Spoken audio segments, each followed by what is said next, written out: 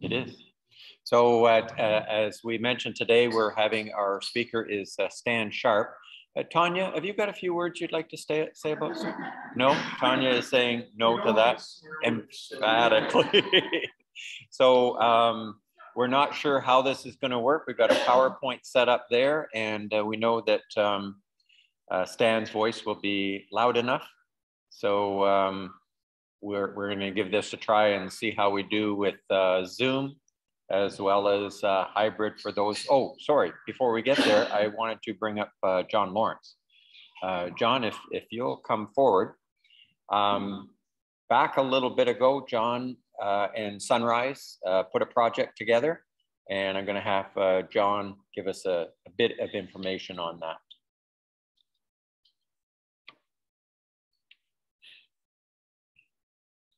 Just right in front of there is the best we can do. Thanks, Brent. Um, yes, we uh, had a CK paddle and clean, um, which was part of the uh, Rivers Cleanup Day, 4th September of the year. And for those of you who are not aware, it was started by a Canadian in BC.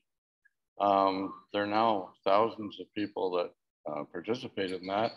And this year, for the first time, uh, Rotary uh, through uh, SRAG was promoting it. So uh, we uh, um, are working with the Thames Valley Conservation Authority on a project called Imagine McGregor. and uh, as part of that, we sponsored a paddle and clean. And um, want to say a big thank you to Barry and Brett for organizing clean along the river. And uh, I got uh, some shirts here that those people who are participating. Uh, Karen Kirkwood White, if you'd come up, please. Chandra. Tony.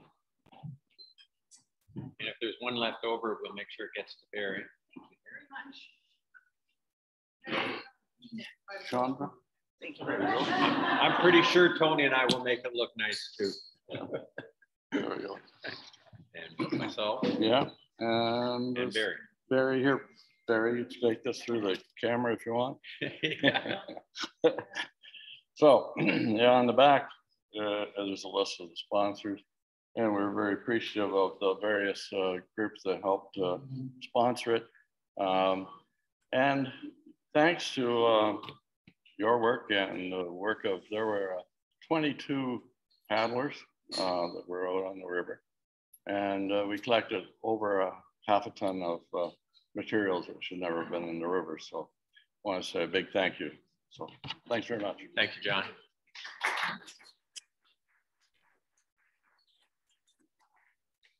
So we always try to uh, adapt and uh, in this case, we adapted because I'm not sure Karen or myself or Chandra. Tony, I know would be good with paddle, but the rest of us, including Barry, I'm not too sure about that. So uh, we cleaned up a, a long um, part of uh, Main Street down by the, uh, right across from the Retro Suites. And we came up with some very interesting things like a toilet seat, uh, a backpack, pair of blue jeans. Uh, yeah. Oh yeah. So you'd just be surprised at what shows up along the side of the river. And of course, we had to back it up because two weeks before the river was exceptionally high, and I'm afraid it might have swept many of us away, with or without a paddle. Um, so at this time, I'm going to call upon Stan Sharpe if uh, he'll come up, and we're going to see how this goes. I, I think um, uh, you can stand at either point, um, but if you need us to move that forward, we can do that. Um, okay. It seems to be from where, whatever you're gonna put on there. So if your PowerPoint will go on there, I believe that's what will show up here.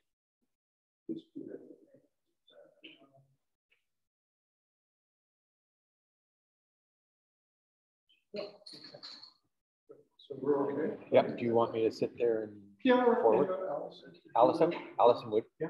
Hey, Please. The closest, yeah. So you do need me to stand here or no? Doesn't Wherever matter. you like, because uh, your voice, uh, your voice will probably come over the microphone here. for the recording. Okay, so I'll stay close enough to this microphone, okay? Thank you to the club. Yeah, those, uh, if you ever meet any of my former students, they know I'm not wed to podiums and that I tended to move around a lot when I talk. So, uh, so this will be different for me. Thank you to the club for the invitation again. Uh, specifically, thanks to Jennifer. I think it shows that Jennifer is an optimistic and hopeful person. She said, if we just give him enough chances, he's bound to do a good one sooner or later. So, uh, so I hope I don't let you down, Jen. So, yeah, so we have Remembrance Day tomorrow. Tomorrow is also the 100th anniversary of the poppy being adopted as a symbol um, for remembrance by more than one country, but Canada, of course. And I just wanted to take you through a few stories of local remembrance here and show you some pictures of uh, local guys, but show you some pictures of local um, history that reflects uh, remembrance. And I even wanted to take you, I'm gonna do a little bit of remembrance at the end. It's uh, not standard and Janet's not here and it's too bad because it's had to do with the question that Janet gave me a couple years ago. And it's actually some really positive and generally uh, nice remembrance. So, uh, so we'll keep, we'll keep it pretty local. I'll go as fast as I can. If I'm going over time, let me know because I'll stop because uh, no matter what I do here, it's the condensed version. Those of you who know me know I can just keep going on this for ad nauseum. So I don't want to bore you or, or, keep you from other commitments you have. So go ahead, please, Allison. Um, some of you guys know one of the first things I can talk about CKSS. This is our, our CVS Chatham Vocational School. Um, World War II memorial in the pictures, and there are 44 guys, 44 graduates from that school that were killed in the Second World War uh, alone. And, and uh, uh, that uh, memorial was the result of largely a gentleman, a teacher named Peter Stoyanovich, starting it back in the 80s and that. I was always in awe of the work he did because he had to do all the research on all the men, and this was before the internet existed, and he would take his vacations and that, go to Ottawa, and he would go see families and go to churches or meet family members all over the province, and he'd write letters, and, and, and it was uh, some real old school hard work where, where, he learned the stories in great depth of these 44 men. And that's only from CVS, that's only from one school. And you guys can imagine that uh, Chatham would have been much smaller back in, you know, the 1940s, right? And that 44 graduates from one school were killed in that conflict. And, and I think it's safe to say that those of us, if we'd lived here then, you know, would have known them. They would have been friends. They would have been neighbors. They would have been uh, uh, you know, in some way connected to probably everybody in town. Um, so uh, it, it's easy when you start to think, and that's only one memorial for one group of guys from one school. And if you multiply that, you can imagine that any of the conflicts we've been in where we've lost Canadian service personnel would have had a tremendous effect on communities, right? Tremendous effect for many years. Uh, go ahead, please, Allison some of the guys there, so I can't get all 44 on one slide, but there you go. And what always stands out, I used to ask most people, and you guys can tell from the picture, is young, very young. The oldest guy of the 44 was 35 years old, and he was the owner. So 30 or 31, 35, and the rest were all um, in their 20s, except for a couple. Go ahead, please, Allison. And the couple that weren't in their 30s were in their teens. And we don't have graves for them because of those 44 guys, only two were in the Navy. The rest were Air Force and Army. And the two in the Navy were both lost on service and their bodies were lost at sea. And they were 18 and 19 years old. So the only place you can see a memorial to, other than CKSS to those two young men is this is the Halifax Memorial and it has panels with names on it. And if you go ahead, please, Allison, I can show you. So the two young men from the CVS 44. So Raymond Boulanger was 19. There's Boulanger's name right there on the Halifax Memorial. And go ahead, please, Allison. And Wilford Carter. Wilford Carter was 18. And Carter is down here. Uh, go ahead, please, Allison. Um, one of the 44 was killed at Dieppe uh, from CVS. And if you go ahead, please, Allison. Um, there are local connections to Dieppe because the Essex Scottish, which is now the Essex Kent Scottish Regiment, landed at Red Beach, right in the center of Dieppe, right in the center of it. Okay, they weren't on the periphery at all. And there are two memorials. One is at Dieppe, and this is the picture of the one at Dieppe. Uh, I've just put it there twice, and that's the uh, Essex Scottish or Essex Kent Scottish uh, emblem. Uh, there is an identical memorial to this in Dieppe Gardens in Windsor. Some of you might have been down there along the riverfront, or if you were ever around Windsor on Remembrance Day, or if you're ever around Windsor on August 19th, which is the anniversary of the Dieppe raid, you would see the Essex Kent Scottish out there uh, paying tribute. Okay, so a really good memorial. You can see the symbol, very simple. It's got the date and the Essex Scottish Regiment. And if you go ahead, please, Allison. Oh, I didn't. Oh, I don't know why I didn't put it in. The the guy who died there uh, was William Taylor, and Taylor was a Scottish uh, a sergeant in the Essex Kent Scottish, and um, he's got one of those interesting, mysterious stories where uh, his body is found a few days later up the channel closer to Calais. And, and, and the, the English channel there has quite a tide in it and, and quite a rise and fall in the tides. So if, if his landing craft wasn't blown up, then he was killed somewhere on the beach within the tidal zone, meaning he didn't get very far. And his body was picked up by the tide and moved quite a ways up the coast. So he's actually buried up there at Calais. He's not buried at, at Dieppe at all. Um, so, but an interesting story and one that we'll probably never know the answer to is what happened to him. Okay, Other, we, can only speculate. I think I've told you about Flight Sergeant George Hitchcock before, because uh, some of the students I took from CKSS, we were the first people from Chatham to ever go to his grave. And uh, that's his grave, and it's not a military cemetery where they were buried by locals in a small town just outside of uh, Paris. And he was killed two days after D-Day. Uh, he was an airman. He was in a plane that was shot down by a German night fighter. And the locals buried the crew. They ran into the site and got all the bodies and buried them so that the SS and that wouldn't do anything uh, to the bodies. So he's not in a military cemetery. And that's why uh, uh the grave um, uh, isn't visited very much, but no one from his family had ever visited the grave until we went there. And that's something I think we forget is that, you know, in our day and age, and Brett knows, and Brett was so helpful with us always taking kids over to Europe. But many of us until COVID thought, ah, travel, we can do that. We can go, we can jet to Europe, we can jet there. But in their day and age, you know, a trip to Europe was was something uh, was a pretty big deal. And even after the conflicts, it was like the family, even if they had a grave to go to, it wasn't that simple to, to pay respects to somebody in the family and visit their graves. So, uh, you know, really hit the students that we are the first ones from Chatham ever to go to the guy's grave. Uh, go ahead, please, Allison. And in fact, the family members that we invited to our Remembrance Day ceremony came from Barrie and Toronto, and they gave us his medals because they said, you guys have done more for uh, his memory than anybody else.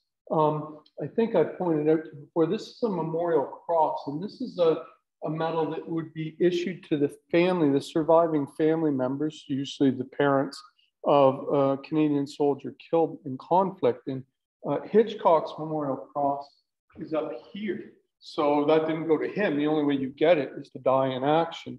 And his is interesting because um, you probably can't see very well, but it doesn't have the ribbon on it. And what it has is he was the only son. Uh, his mom survived. She had three daughters and one son. Hitchcock was her one son.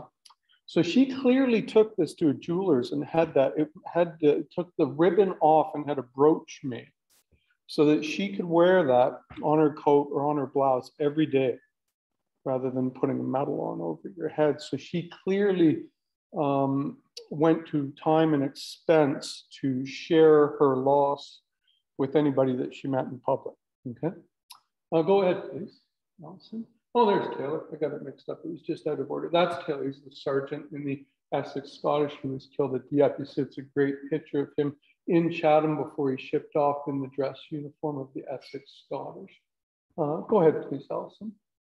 Oh, take you back even further, First World War. Some of you guys know that the Kent Regiment or the Kent Battalion was the was one raised right in the community, and through the four-year conflict, um, there were various recruiting drives. But this was the first big one, and this is a picture of them actually. And we've got the date, and they're in London, Ontario, just before shipping out. So the way they all got out of town was they all signed up and they all went down to the train station. And they went up to London, mustered up there, and trained, and then they would have shipped out to the East Coast and got on boats and gone over to England and then to France. But uh, so this is midway through the war. There's uh, still big years of battles uh, to come, and, and, many of these guys would have seen it. And a few World War One stories, a few simple World War One stories for you will follow. So go ahead, please, Allison.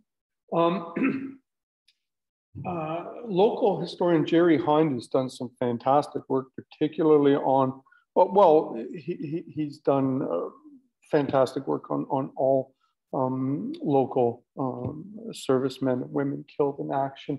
Uh, but he puts it at about 300 or 350 people from the community would have died in the Great War. And our population, in Chatham, Kent, around then was eight to 9,000 people. So, you know, a fraction of our population today, but, you know, you can imagine what 300 to 350 killed in action would have had effect on the community. And these are just a few pictures of the guys. And I'll just tell you a few stories and show you a few interesting local um, connections here. So go ahead, please, Allison. Uh, when I would do the um, presentations at school or when I would teach my classes, I would always just try and uh, um, show them that, you know, personal connections. And one of the things I did was I would do a bunch in class where, well, when you look through the death rolls for World War One, one of the things, because it has their addresses on it, is one of the things automatically realize, Jeepers, Chatham was a lot smaller back then because you keep seeing the same street names, but you don't see other street names. For example, Constancia didn't exist in the First World War, but old, you know, King Street, Queen Street, Victoria, those ones existed. Okay. And you can almost, without having a map, draw a road map of Chatham by just looking at the death rolls for the First World War, because it's amazing number that lived on King Street, the number that lived on Queen Street, or the streets downtown around the library are just peppered with these. But any newer area, no, they didn't exist. So not only, you know, did we lose a lot of guys, but they were in this really condensed space, this much more condensed community than we have today. So the reason I have the street signs up here was I just would try to show my students that you walk down that street.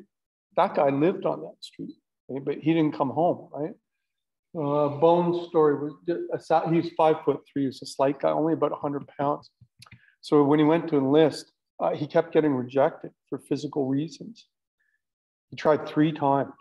And the third time was a charm. He got in, but he got in to go over, and he was only in service about six months before he was killed in action, but he had to go. So that was also part of my story for my students was see like whatever the reasons were, uh, they were so determined to serve, you know, that, that they wouldn't take no for an answer. Uh, go ahead, please, Allison. Oh, strange way, yeah, strange way. Um, Strangeway's story is not unusual, but you see, I have them up there because they're again, Taylor Avenue existed at the time of the First World War.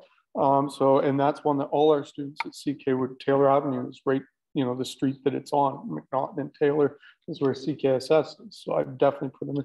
But, but Taylor, or Strangeway's story is not that unusual. He was wounded and returned to action and was killed later. Many of these guys were wounded and their natural impulse was, hey, if it's not a debilitating injury, I want to heal and I want to go back with my buddies, you know and, and the forces on these guys to go and do that were enormous. Okay, I'll go ahead, please, Allison. Uh, McFarland, McFarland, uh, McFarland's was one of the saddest stories because he was wounded. And again, another one. So Victoria Avenue existed at the time of the First World War. Uh, McFarland was wounded, one of the saddest stories, and he was evacuated to an aid station. And the aid station is the first medical station you would have closest to the front. So it could be within 100 or 200 meters of the front line. And he was lying on a stretcher at the aid station and he was shot by an enemy sniper, and that's what killed him.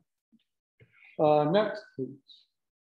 Taylor, I uh, just wanted to point out that like all these guys and women were so brave. Uh, that's a military cross. Taylor won the military cross or earned the military cross.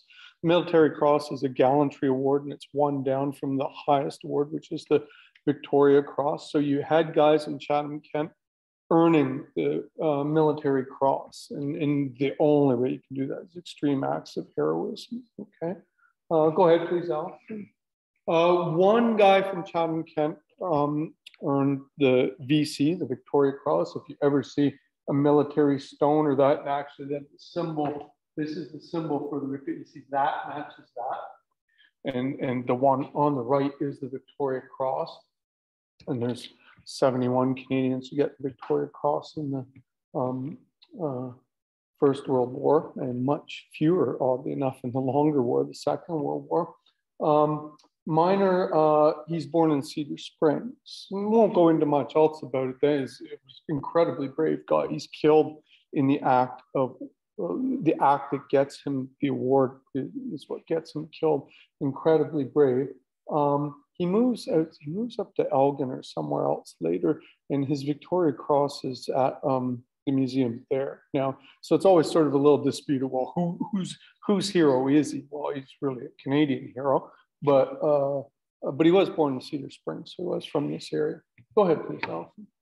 Uh, Major Smith. Major Smith was famous. You guys see, he gets written up in the Chatham Daily Planet at the time, and uh, just for an act of he spared a German soldier's life, and and it was this great, you know, amidst all this this uh, chaos and evil of battle and all this terrible stuff, is you have this great act of humanity where he spared a young German soldier's life and that's not what got him killed. He got killed a few days later. But but even the people at the time thought this was such a great thing, and they were so proud of it. Like war, war doesn't have to be about being, being brutal. This guy gets written up for amidst all the brutality, he shows that he's still human. You know. Uh, go ahead, please, Allison. Um, I'll show you a few close to home. This is Private Thomas Gow, and that's Private Gow's uh, headstone in um, Maple Leaf Cemetery, just down the road. You're only a couple of kilometers away from Private Gow's um, headstone. So question is, okay, well, you know, after the war, there are too many dead for the Commonwealth countries to consider uh, exhuming the bodies and shipping them back over. You know, Canada's got about 66,000 dead in the First World War. So it's decided that the, the Canadian government consciously decides we're keeping the bodies there. The cemeteries are going to be there. They'll be buried with their brothers in arms close to the battlefields where they fell. And that was the Canadian government's uniform policy. So if you ever see headstones here and they're from the First World War, then there's got to be a different story to them. You know, they're not usual, they're a little more rare. And Private Gow's uh, headstone is one. And you can't see, but down at the bottom, and everything from the cross up would be standard inscriptions that the government military would put on a headstone, but anything down here would be put on by the family. And Gow's isn't, sorry, can't be, yes, died from effects of the war, or, and, and in his case, when you look it up, he was in the Battle of the Somme, and it mentions it, which is 1960, the same year that the picture was taken of the Kent Regiment there. And unfortunately, it's a reminder of our fortunate times that we're in that we have so much great medical care and they did the best they could back then but but but the the nature of the wounds and that that these guys suffered was terrible. Gow was wounded in 1916 at the somme which is a terrible battle went on for months and it was it was just a battle of attrition. It was just who was going to kill more guys on the other side. It wasn't really even about taking much territory uh, is wounded in the head and he's evacuated back to Canada. So he initially survives, but he dies in 1920. So he suffered with the effects of that. The wound killed him four years later, okay, and killed him in Chatham. And he's buried right down the road from here, uh, 20 years old, I think. Uh, go ahead, Allison. The Heather family, this is a sad one, you know. Um, father and two sons all leave from Chatham. Uh, sad, father uh, Samuel Sr. carries the oldest son out of the trenches, wounded, and the son dies. That was Thomas. Then the father was killed shortly thereafter. And a month after his father died, the youngest son was killed. So, so the poor Mom lost her husband and both sons in the war, you know, and, and the father went thinking I can protect the sons, but sometimes you get into things that are too big, right? Too big beyond your control. Oh, go ahead, please, Allison. Here's another one just down the road and an interesting one. Very interesting one for our times to remind us that, hey, well, you know, maybe COVID wasn't around before, but people had to deal with other things before. Lemuel Davis was a pharmacy student and he went to, I think, the University of Toronto. So he's going to come back and be a pharmacist in Chatham. While war comes up, and of course, you need people with medical training. So he goes and he's in the Royal Canadian um, Naval Reserve. So he goes out and he serves at a, well, I looked it up. At first thing it says HMCS Stadacona. Well, in, initially you think, okay, that's a ship. Well, I can't find that ship. Well, the Navy also names their bases HCMS, and Stadacona was a collection of shacks on on the pier at, in Cape Breton. And it's literally a hospital right on the pier. Uh, they took over old fishing buildings and turned it into a hospital. Because, of course, the minute they got the guys off ships, they wanted to care for them. They didn't want them to travel too far. And so Lemuel Davis worked there. Uh, Davis dies um, he's killed then not by battle because he's in Cape Breton, and he's on land. You know, there's nothing that's going to threaten him from the enemy in the First World War. He's killed by the Spanish flu. He's working in a hospital, crowded conditions. He's working hard, gets run down. But the soldiers coming back. He dies in 1918 in the fall, just as the Spanish flu epidemic is starting. Uh, and he, uh, so he, the reason he's buried just down here is he dies in Canada. They'll bring him home from Cape Breton and bury him here. And he's in Maple Leaf Cemetery just down the road. And probably you guys know, but but to be clear, Spanish flu is now like historically it, it's wrong. That's the name that comes up, but it's got nothing to do with Spain. Um, Spain during the war is a neutral country. Uh, because they're neutral, there's no um, censorship rules in the press. So it's the Spanish press that starts reporting on the flu epidemic in 1918. So most people, when they try to trace it to a source, say, well, Spanish, we're talking about it first. It's the Spanish flu, but it, it had nothing to do with Spain. They just were able to talk about it. So the more appropriate name for it today would be the 1918-1919 flu. And uh, at least when I was in class and I had students until I retired in June, I, I could say, I said, hey guys, last time we had, that, you think COVID, do you think you guys are ready, you think you guys are the only one that had these problems. Is I said, well, we can at least go back in history and take a look at, you know, other Canadians have faced these issues before.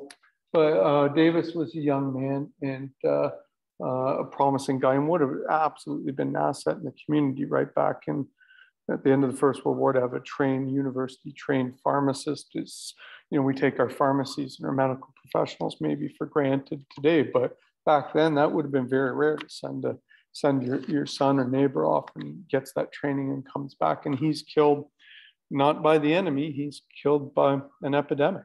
Okay, uh, go ahead, please, Allison. Uh, you just see some signs around town. Don't forget, I always like to put the old pictures in for the students and the new ones. Oh, you guys have seen the cenotaph downtown.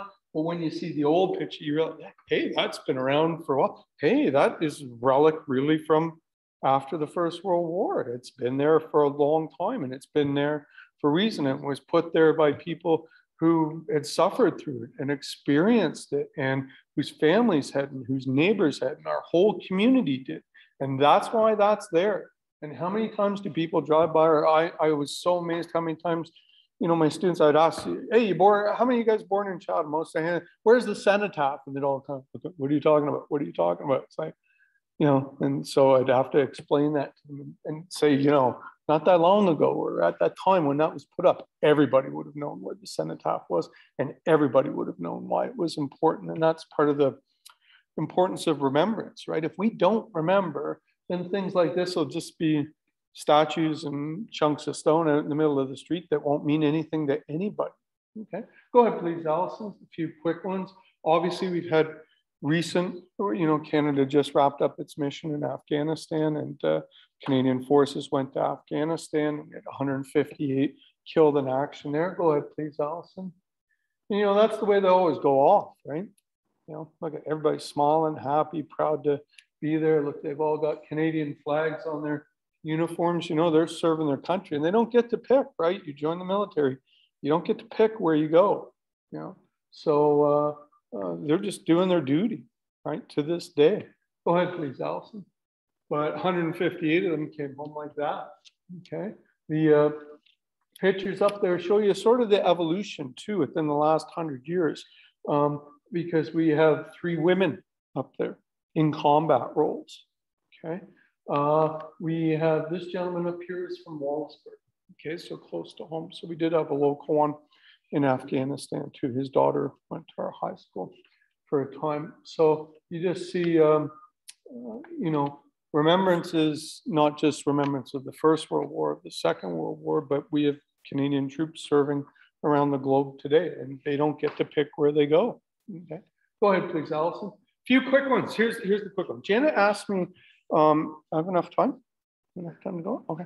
Um, Janet asked a couple years ago, are, were there uh, memorials to animals? And I knew there were because especially the First World War, um, which is more pre-mechanized than the Second World War, but even the Second World War, animals were used a lot, was yes, um, there are memorials to animals, and there was one that I thought of later that I would take the students to in London, England. But I thought, well, well let's talk about some Canadian animals, maybe ones you don't know, because as much as we can uh, remember our troops, and we should, um, there's a couple of interesting animal stories here that relate specifically and only to Canada.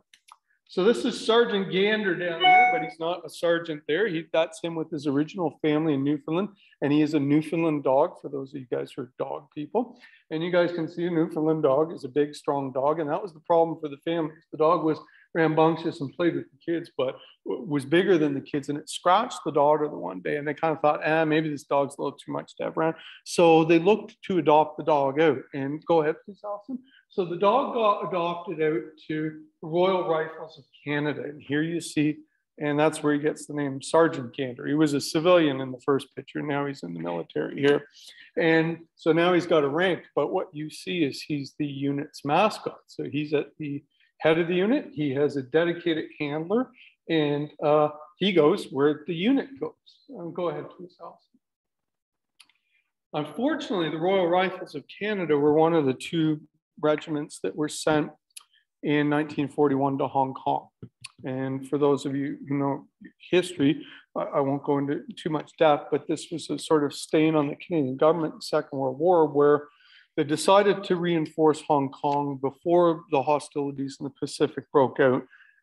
They did it because Hong Kong was a British colony. We were supporting Britain. But they knew militarily, should the colony be attacked, there's no way we can reinforce the troops. There's no way we can evacuate the troops. They are very much going to be sacrificial lambs. So this is one of the stories from World War II, but it's not about the troops who were very brave and fought, fought bravely, because when the Japanese attacked Pearl Harbor, they did attack and they did attack and, and capture Hong Kong. This is the Royal uh, Rifles of Canada with Gander again you see where they put him. He's pretty important to the unit. Uh, he would have been very much, uh, uh, uh you know, very pampered, very pampered, well taken care of. Uh, so that's them on their way to Hong Kong in October 1941, and the hostilities break out in December 1941. Uh, go ahead, please, Allison. Long story short, when the Japanese attack and the Canadians cannot evacuate, or British, no, none of the Allied troops are getting out of, I mean, it's going to be 100% losses. They're either killed or captured. Okay. Uh, Gander died protecting, uh, he was in a foxhole with seven members of the unit when a Japanese soldier threw a grenade into the trench. and uh, he picked it up ran away. The, uh, excuse me, let my dog go. the statue is in uh, Gander, Newfoundland. So if you get out there, you can visit it. He's given uh, award. Uh, I didn't know, I collect medals. I'd never heard of this one. It's called the, the Dickin Medal. And the Dickin Medal is awarded to animals for gallantry. And uh, he's awarded that in 2000. Go ahead. on a, a good story, and a really good story. You guys all know, we all probably grew up with uh, Winnie the Pooh. We know Winnie the Pooh. Well, Winnie the Pooh is a real animal. Was a not just a cartoon character, but a real animal uh, from Canada, from Ontario. Okay, and it's a First World War story. We don't end up with the Winnie the Pooh story without the First World War.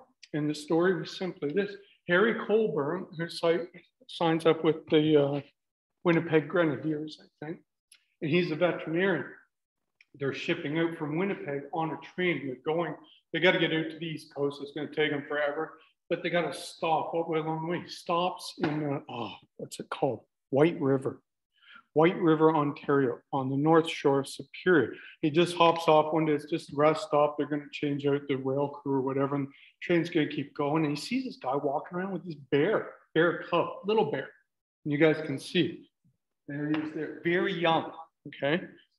Um, he says to the guy, What's going on? And the guy was a trapper. He says, Oh, we trapped the mom or that we found.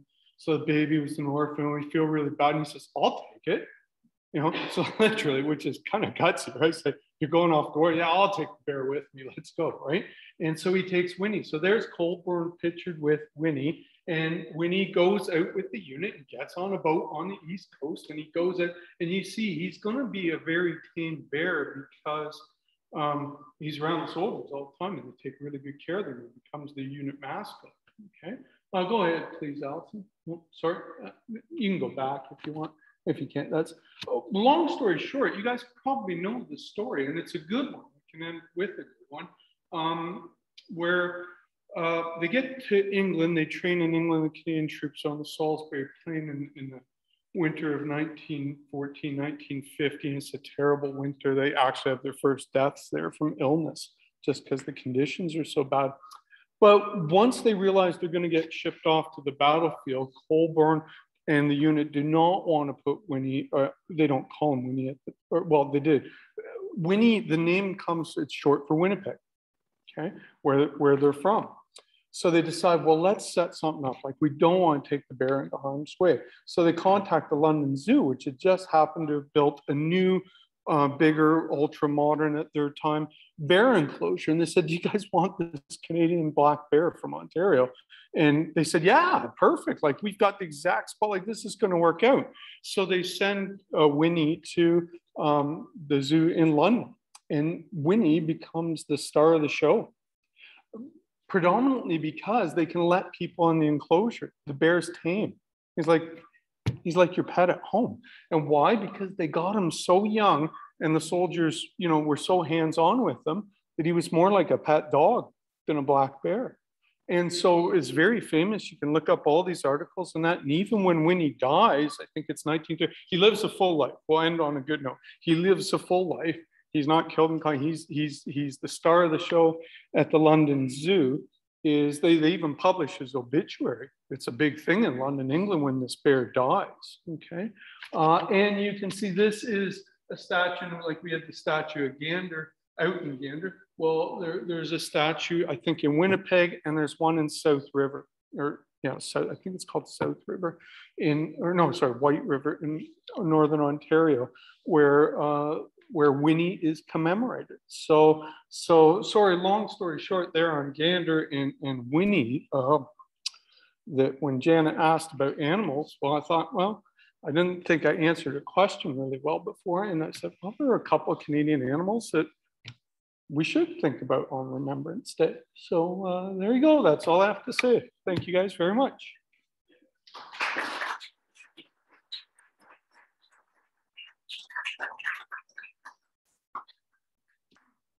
Excellent presentation, and, and, thank you so much for uh, ending on a happy note there because uh, I think we all need a little bit of that uh, at this point. Um, so uh, were there any questions for Stan?